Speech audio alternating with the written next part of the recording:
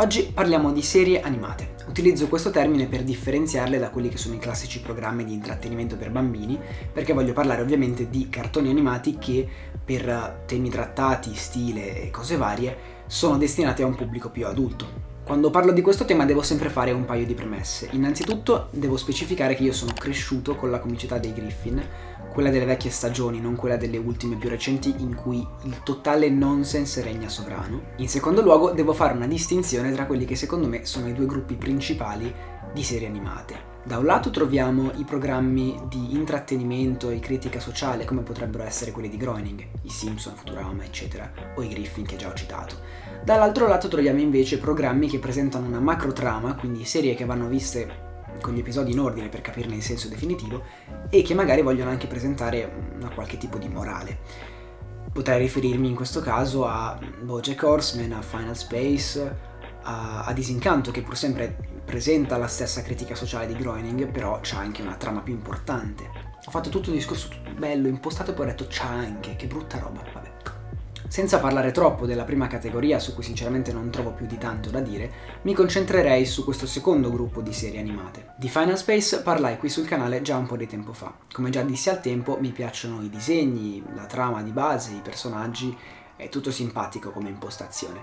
Devo dire però che le nuove stagioni sono un po' banalotte, ripetitive più che altro. Un'altra serie di cui ho già parlato qui sul canale è Disincanto, che mi è sempre piaciuta un tot, anche le ultime stagioni presentano svolte di trama convincenti e personaggi intrecciati in modo molto interessante, non vedo l'ora di vedere come andrà avanti nelle prossime stagioni. Rick e Morty è senz'altro geniale e fin dalle prime stagioni mi aveva particolarmente colpito la capacità di questa serie di creare un mindfuck gigantesco e irreversibile all'interno del cervello dello spettatore in ogni singolo episodio. Il problema attuale della serie, forse a parte la lentezza disarmante con cui vengono prodotti gli episodi, le stagioni, perché rispetto a tantissime altre serie nel mercato attuale che producono una stagione all'anno, che forse è anche troppo, Rick e Morty fa tipo mezza stagione ogni anno e mezzo, ogni due anni, quindi esce un po' poca roba, però anche lì, cioè non sono qui per criticare quello. Il problema, dicevo, grosso secondo me delle stagioni più recenti, dei, degli episodi attuali, è che mentre a livello visivo, a livello di effetti speciali, di disegno, eccetera, siamo ovviamente molto più avanti rispetto alle prime stagioni, a livello di trama non portano più niente di nuovo, niente di, di, rinnovato e posso capire che con delle premesse come quelle che ci sono alla base di Rick e Morty non sia particolarmente facile inventarsi, reinventare la serie in ogni episodio, perché quello era quello che facevano agli inizi. E ci sta, cioè, ci sta. Un capitolo totalmente a parte è quello di Bojack Horseman, che sicuramente è una serie molto speciale, anche di questa già parlai sul canale in passato. Citando un meme che è particolarmente famoso su Instagram, potrei dire che questa serie fa ridere ma fa anche riflettere.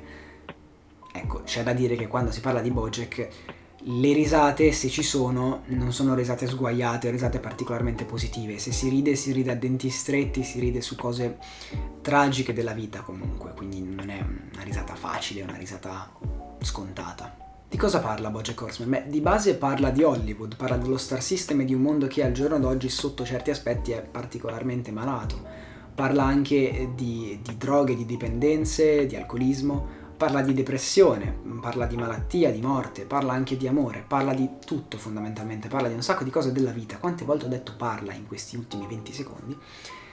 Però non lo fa mai in modo scontato, lo fa in un modo veramente speciale e con degli espedienti visivi, oltre che narrativi, stupendi, non so come altro descriverli. La sconfinata capacità immaginativa degli autori di Bojack Horseman si riflette anche nell'altro loro capolavoro attuale, che è Undone. Undone è un'altra serie animata prodotta per Amazon Prime Video. E se qualcuno mi chiedesse qual è il tentativo più riuscito del mettere su schermo i frutti dell'immaginazione umana, risponderei proprio Undone. So che non è proprio la classica domanda che uno ti farebbe alla fermata dell'autobus, ti ferma e ti dice mi scusi ma secondo lei qual è il tentativo più riuscito del mettere su schermo? No, però eh, insomma ho voluto renderla così, spero di essermi eh, spiegato. Prima di concludere il video vi parlerei di un'altra serie recentissima che secondo me è degna di nota perché è veramente diversa da tutte le altre del suo genere. È creata per Netflix dal produttore di Adventure Time, dal creatore di Adventure Time eh, il concept stravagante alla base di questa serie è il seguente.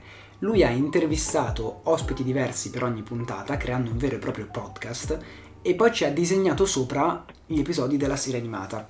Quindi il protagonista, di cui adesso mi sfugge il nome, è un ragazzo che ha un podcast e per questo podcast viaggia di pianeta in pianeta con una sorta di simulatore e in ogni episodio intervista un personaggio diverso. La voce di questo personaggio diverso per ogni puntata è la registrazione che il creatore ha fatto intervistando esperti reali e quindi ogni volta mentre succedono un sacco di cose su questi pianeti, ogni volta c'è un mondo diverso, eccetera, loro in realtà parlano di argomenti seri, di argomenti molto interessanti eh, cose di cui normalmente in un cartone animato non si parlerebbe. E niente, ve la consiglio caldamente se siete amanti del genere perché è davvero allucinante. Io non saprei con che altro termine descriverla se non allucinante. È un, è un trip bestiale questa serie e se l'avete già vista sapete di cosa parlo.